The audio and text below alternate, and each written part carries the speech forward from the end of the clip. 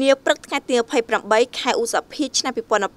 ឯកឧត្តមមករាប្រធានក្រុមប្រឹក្សាខេត្តពោធិ៍សាត់ ដឹកនាំសមាជិកាក្រុមប្រឹក្សាខេត្តលោកអឹងកំលៀងអភិបាលរងនៃគណៈអភិបាលខេត្តពោធិ៍សាត់លោកចាប់នាងអភិបាលក្រុងពោធិ៍សាត់សាខាពន្ធដារនិងក្រុមការងារយុវជនស្រឡាញ់សន្តិភាពបាននាំយកអំណោយជាអង្គររបស់ឯកឧត្តមមកធនិនអភិបាលនៃគណៈអភិបាលខេត្តពោធិ៍សាត់និងលោកជំទាវទៅចែកជូនប្រជាពលរដ្ឋនៅតាមខ្នងផ្ទះដែលមានជីវភាពខ្វះខាតជនចាស់ជរាគ្មានទីពឹងស្ត្រីមេម៉ាយនិងក្មេងកំព្រាដែលពួកគាត់មិនបានចេញទៅប្រកបរបររកស៊ីក្នុងភូមិលាវសង្កាត់ចម្រើនផលក្រុងពោធិ៍សាត់ចំនួន27គ្រួសារព្រោះខ្លាចឆ្លងជំងឺ Covid-19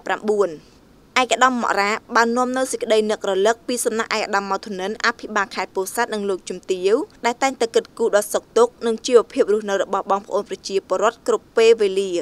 គិតត្រឹមថ្ងៃទី28ខែពោធិ៍សាត់មិនទាន់មានអ្នកឆ្លងជំងឺ Covid-19 នៅឡើយទេ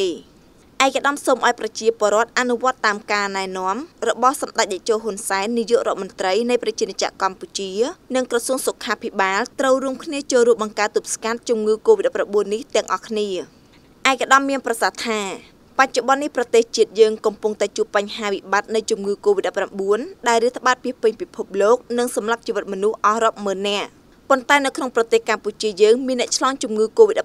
124នាក់ព្យាបាលជាសះស្បើយ122នាក់សល់2នាក់ទៀតកំពុងសម្រាប់ព្យាបាលបន្តទោះបីជាមេរោគ Covid-19 នេះបានថមថយចុះក៏ដោយតែយើងត្រូវតែមានការប្រុងប្រយ័ត្នខ្ពស់គ្រប់ក្រុមគ្រួសារនិងសហគមន៍តែបើយើងធ្វើប្រហែសជំងឺនេះនឹងអាចកើតឡើងវិញជាពុំខាន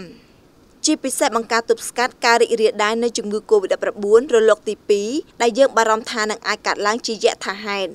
បើមានបងប្អូនកូនក្មួយទៅត្រឡប់មកពីធ្វើការនៅប្រទេសក្រៅត្រូវណែនាំពួកគាត់ឲ្យស្នាក់នៅក្នុងបន្ទប់ឲ្យឆ្ងាយពីក្រុមគ្រួសាររយៈពេល14ថ្ងៃជាមុនសិន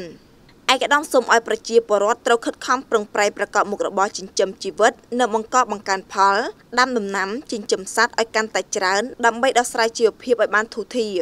ក្នុងឱកាសនោះឯកឧត្តមក៏បានចែកជូនអង្ករដល់បងប្អូនប្រជាពលរដ្ឋដែលក្នុងមួយគ្រួសារទទួលបានអង្ករ10គីឡូក្រាមផងដែរ